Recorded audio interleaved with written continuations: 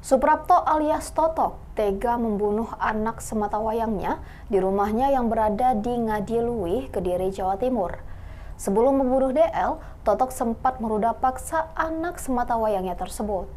Suprapto nekat menghabisi nyawa anaknya lantaran dipicu sakit hati yang berujung dendam. Kasat Reskrim Polres Kediri AKP Rizkika Atmada Putra membenarkan hal tersebut pada Senin 17 Juli 2023.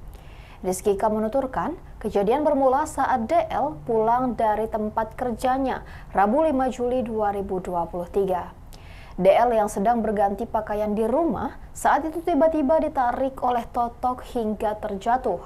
Totok kemudian menganiaya korban dengan mencekik leher DL dan membawa korban ke kamar mandi untuk diruda paksa.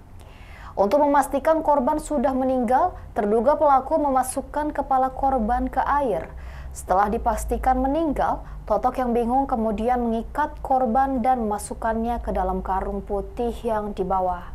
Setelah itu membawa jasad DL ke areal persawahan di desa Bulu Pasar, Kecamatan Pagu, Kediri, Jawa Timur.